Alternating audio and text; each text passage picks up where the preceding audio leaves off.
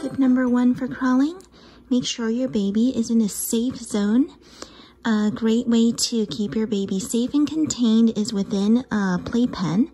And I'm using here an Alzip mat, which I find to be very nicely um, soft yet cushioned at the same time. Number two for crawling is make sure baby is wearing um, footless pants. Um, try not to wear those footed jammies.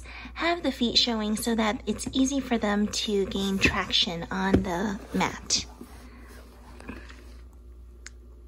Number one for getting baby to crawl is to use an attractive toy. I have here one with a little mirror on it that I know she loves to play with. So I'm gonna go ahead and set it down in front of her. Again, relatively distraction-free space, so she'll notice it and come grabbing it.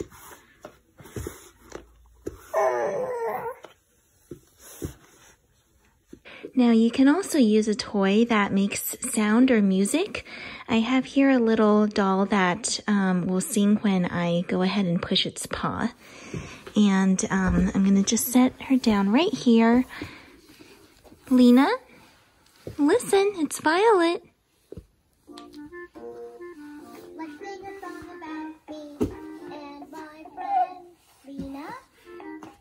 This doll's awesome because you can customize it with your kid's voice.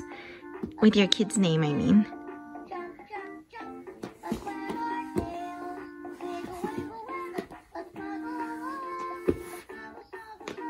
Yeah, you got Violet.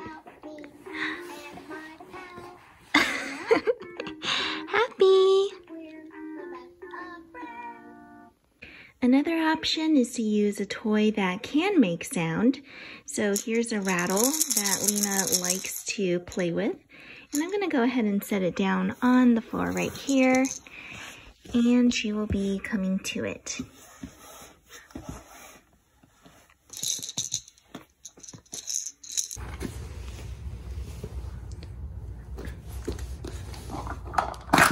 Ooh, there goes the tower. Good crawling, baby. Something else I've used is this cool little compact car seat mirror. Um, I like this one because it is, um, it will shrink or minimize uh, things in its view. And Lena can see her full self in it. So she tends to like coming after something like this. Babies tend to be attracted to mirrors too, so you might like um, trying this out.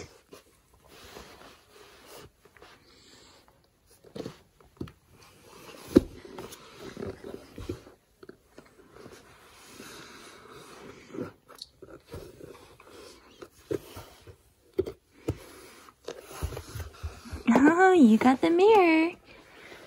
Those are my particular tips to keep baby going.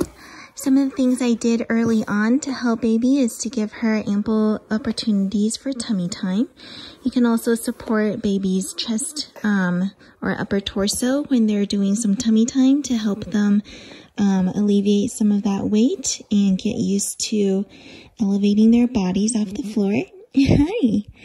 And uh, that's how I got my little Lena Rose to be crawling right at six months of age. All right. Thank you so much for watching and hope you have a wonderful day with your little one. Bye now.